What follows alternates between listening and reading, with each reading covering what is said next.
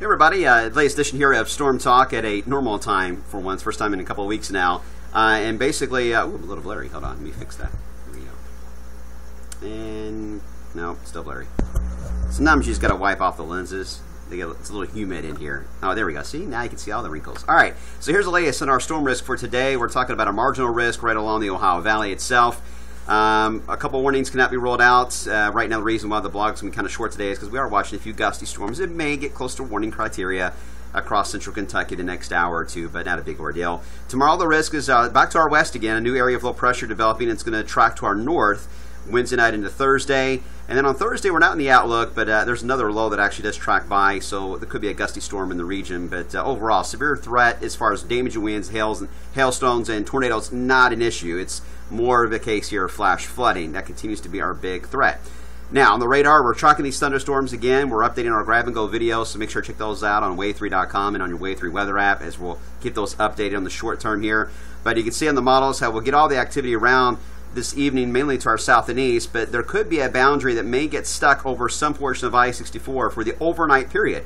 And that could mean uh, several rounds of downpours that may last all the way through sunrise, and that boundary may become active again tomorrow afternoon with more heavy downpours. And everybody will see them, but the chance will be there for more flash flooding. That's why the flash flood watch, in effect, for most of us, is going to stay in effect all the way through 8 o'clock Wednesday night.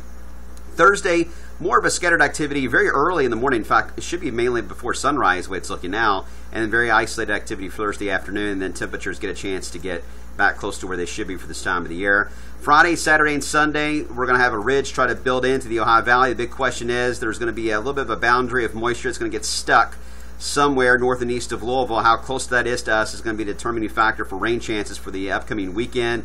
I still think there's going to be enough ridging going on that it's going to be very isolated right on the edge here, the northeast edge. But uh, we'll keep an eye on that and fine tune that forecast. The models are going crazy, forecasting 95 to 96 degrees this weekend.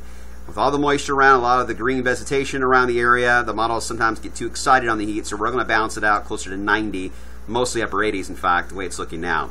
As we get into Sunday night into Monday, there's going to be a front that will drop down, could give us some showers and thunderstorms, but this low is going to be a, a, pain for us next week. The models are having a tough time where to put this low pressure for the middle portion of next week. That will have an impact on rain chances and our temperatures. And if it can get stuck over us, we may not get out of the 70s for a day or two with off and on showers and lots of clouds around. So we'll see how that plays out for the middle portion of next week. And the reason why it's been so wet, we're in a blocking pattern. We're getting these fronts coming through one after another from the Great Lakes in Canada and the NAO, like we use in the wintertime the NAO is negative, a sign of blocking pattern that is uh, taking place. You know, we were not in that pattern for much of May and June. We were uh, if neutral, if not positive. That allowed the heat to really dominate most of our time.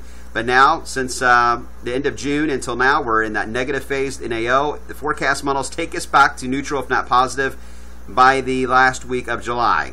That's a possibility. Although I will say some of the long range models for August are saying that we're going to stay below normal for a good chunk of the lower 48 from the plains in the Ohio Valley, and rainfall may very well be above normal as well across the Midwest into Kentucky. We'll see how that plays out. I know you guys are sick of the rain, but this looks an awful lot like last year, what we're dealing with, just wetter. And uh, we'll keep an eye on the trends here as we head through uh, this evening, by the way, and the uh, severe storm potential. Otherwise, we'll see you today beginning at 5 o'clock.